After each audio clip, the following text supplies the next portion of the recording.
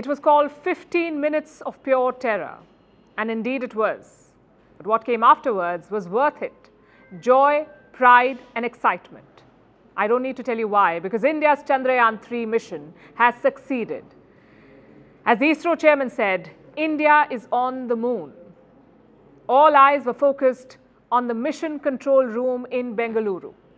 It was a room full of tense faces, politicians, bureaucrats, and the most terrified of the lot are scientists. They had been here before. In 2019, India was focused on a similar mission control room. We were waiting for Chandrayaan 2 to land. It was a heartbreaking moment for the whole country. But today, all that pain has been forgotten. I'll be honest though, the countdown was nerve wracking. ISRO had a display of how far the module was from the moon, and with each minute, it kept dropping 40 kilometers, 20 kilometers, 10 kilometers, and finally, zero. The Vikram lander had successfully arrived on the moon. Were watching the scenes from the control room in our newsroom. The, roar was deafening. I can only imagine what it was like inside that room the tension, the expectation, and in the end, the elation. As we speak, India's rover is driving around on the moon, and that too on the south pole of the moon. It's a historic first. We told you about this yesterday. No country, no country has ever landed on this part of the moon. It's dark, it is tough terrain, and it's uncharted. But right now, India has a rover there. It's truly a proud moment in India's history. A big congratulations and thank you to all the scientists at ISRO. You have given us a great gift. It's also a tribute to ISRO's persistence.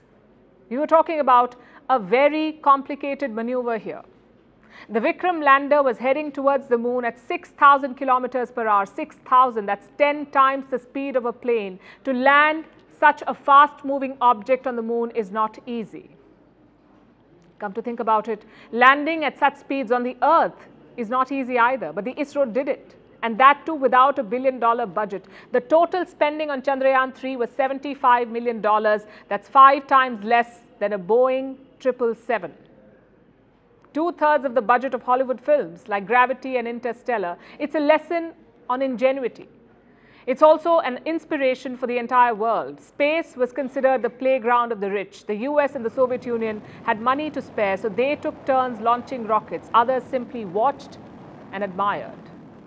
But India has shown it's not a rich boys club. You don't need big, endless budgets to reach the moon. What you need is expertise, talent, and confidence, and ISRO has all three. Even before the landing, the world was all praises. Corporate leaders like Elon Musk and Jeff Bezos said they were rooting for Chandrayaan 3.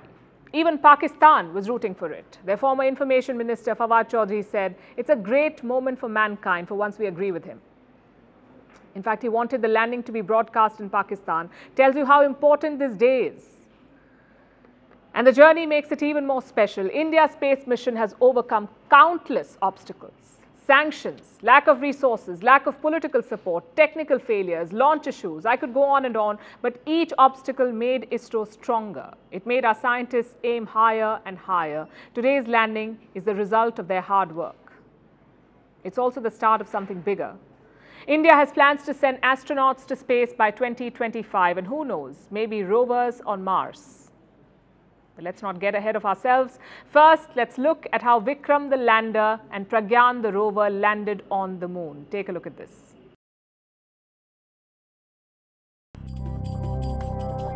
The tension was palpable. Expectant faces peered at the giant screen in front of them. Complicated numbers danced around. ISRO's former chairman had called it 15 minutes of terror. He wasn't wrong. Thousands of kilometers away, India's lunar module was making its final descent. Destination South Pole of the Moon.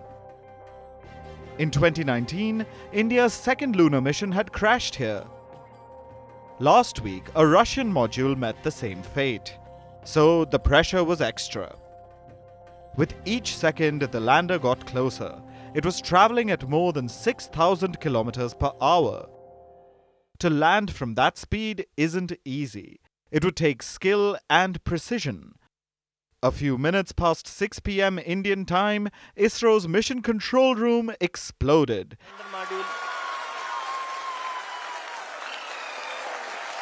Elated scientists screamed and hugged each other in relief. On the giant screen, Prime Minister Narendra Modi joined in. He waved an Indian flag from South Africa. The mission was accomplished. Vikram, the lander, had reached the South Pole.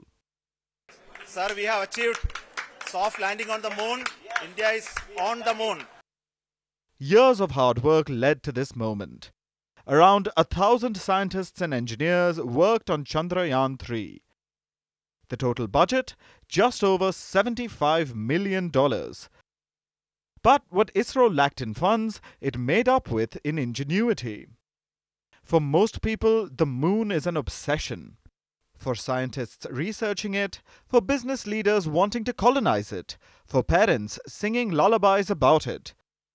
So, reaching the moon often becomes a national obsession. And India was no different. Chandrayaan 3 lifted off from Sriharikota on the 14th of July. Since then, Indians have been marking their calendar. August 23rd was D Day. Millions of Indians tuned in to watch ISRO's live stream, around 8 million to be precise. As the lander touched down, celebrations began, not just inside the control room, but across the country. The Prime Minister addressed the scientists afterwards. He said New India had witnessed a new flight.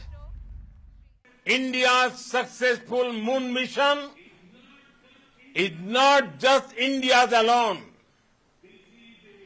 This is a year in which the world is witnessing India's G20 presidency. Our approach of one earth, one family, one future is resonating across the globe. This human centric approach that we present and that we represent has been welcomed universally. So, what's next for Chandrayaan 3? Vikram the lander isn't alone on the moon. Stored inside is Pragyan the rover. Both have a planned mission life of one lunar day. Here on Earth, that's around two weeks. The rover will drive around on the moon's surface. It'll send back crucial data to ISRO. Scientists are most excited about the prospect of water. Many believe the South Pole could be holding frozen water. If so, Pragyan will find it. It'll also leave India's mark on the moon, quite literally. The rover's wheels carry the Indian emblem along with ISRO's logo.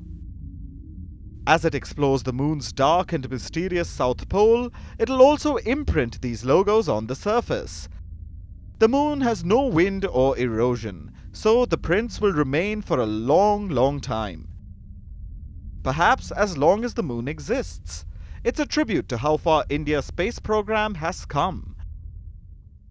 From carrying satellites on bicycles to being pinned down by sanctions to landing and exploring the moon.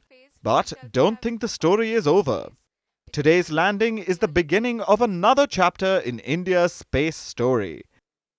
ISRO chairman S. Somanath alluded to it. Honorable Prime Minister called me and conveyed his greetings to each one of you, you and your family for the wonderful work you did in ISRO. Uh, so thank, uh, thanks are to him for the support that he is giving to us for missions like Chandrayaan 1, 3 and the missions that are in the offing. I think that's a great word of you know, comfort that we are receiving for pursuing the inspirational work that we are doing for the nation. I want to tell you, and I want to thank you also for each and everyone who prayed with us in the last many days, uh, who wanted this uh, success to happen in ISRO. I thank all those people in all around the country and maybe be beyond the country for their blessings and wishes and, and affection that he has given to each one of us for doing this work for the last so many years. The world is lining up to congratulate India. NASA chief Bill Nelson extended his wishes. So did South Africa's President Cyril Ramaphosa and the Maldivian President Ibrahim Solih. For many countries, this is a watershed moment. It proves the moon isn't a luxury trip. It doesn't need endless budgets. You can reach the moon with talent, skill, and confidence. ISRO displayed all three. Only three countries had landed on the moon until now the United States, the erstwhile Soviet Union, and China. India's Pragyan has now joined this elite club. So, what's next for ISRO? We could say the sky is the limit, but it's clearly not. India has plans to send astronauts into space. It's also planning another mission to Mars and a separate probe to the Sun. Exciting times if you follow ISRO. But today is all about soaking in the moment. The moon you hear about in poems and tales isn't unreachable anymore. It's the runway for India's rover.